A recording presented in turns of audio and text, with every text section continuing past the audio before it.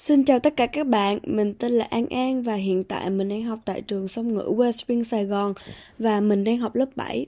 Hôm nay mình sẽ đọc cho các bạn một câu chuyện trong quyển sách Vì con cần có mẹ. Đây là quyển sách mà không nhân dịp gì mẹ mình đã tặng cho mình. Đây là quyển sách không có một tác giả chung mà là quyển sách về các câu chuyện được thu thập lại để có thể trở thành một quyển sách hoàn hảo. Trong quyển sách đó có nhiều những câu chuyện hay về tình mẫu tử giữa mẹ và con, thậm chí còn có những câu chuyện đã đem lại cho mình một cảm giác xúc động và có lần mình đã khóc vì quyển sách này. Tuy nhiên hôm nay thì mình sẽ không kể hết tất cả những câu chuyện trong đó mà mình chỉ có thể kể một câu chuyện mà mình đã cảm thấy hay và xúc động nhất đối với mình. Câu chuyện hôm nay mình quyết định đọc là câu chuyện Nếu con có thể sống sót, hãy nhớ rằng mẹ rất yêu con. Đây là một câu chuyện xúc động sau một cơn động đất. Lực lượng cứu hộ đang bắt đầu các hoạt động tìm kiếm cứu nạn. Và khi họ tiếp cận đống đổ nát từ ngôi nhà của một người phụ nữ trẻ, họ thấy thi thể của cô qua các vết nứt. Nhưng tư thế của cô có cái gì đó rất lạ, tự như một người đang quỳ gối cầu nguyện. Cơ thể nghiêng về phía trước, hai tay đang đỡ lấy một vật gì đó. Đội trưởng đội cứu hộ đã cố gắng luồn tay mình qua một khe hẹp trên tường để với tới thi thể nạn nhân.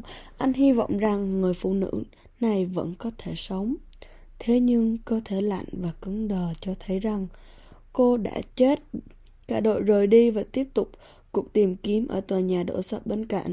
Không hiểu sao, viên đội trưởng cảm thấy như bị một lực hút kéo trở lại ngôi nhà của người phụ nữ. Một lần nữa anh quỳ xuống và luồn tay qua khe hẹp để tìm kiếm ở khoảng không nhỏ bên dưới xác chết. Bỗng nhiên, anh hét lên sung sướng, một đứa bé, có một đứa bé. Cả đội cứu hộ cùng nhau dỡ bỏ những cái cọc trong đống đổ nát xung quanh người phụ nữ. Có một cậu bé 3 tháng tuổi được bọc trong một chiếc chăn hoa bên dưới thi thể của người mẹ. Rõ ràng, người mẹ đã hy sinh để cứu con mình.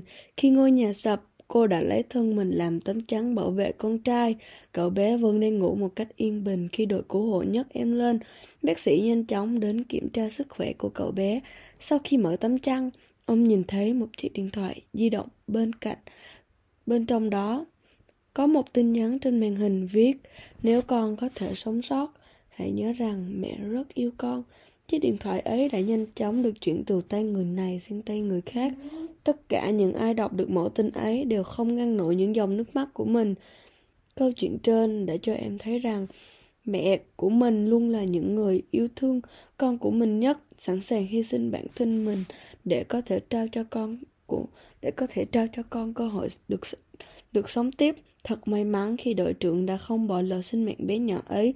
Không biết nếu đội trưởng không ở lại và tiếp tục tìm kiếm thì sinh mệnh bé nhỏ ấy sẽ đi đâu. Câu chuyện trên cũng đã cho em biết rằng mình phải biết quý trọng những giây phút ở bên mẹ nhiều hơn, phải biết thương mẹ của mình nhiều hơn vì mình không biết mình có thể ở với họ được bao lâu nữa. Nên các bạn còn ba mẹ thì hãy nhớ trân trọng những thời gian ở cùng với ba mẹ nhé. Đừng để sau này rồi mới biết hối hận. Hẹn gặp các bạn ở kỳ tiếp theo nhé.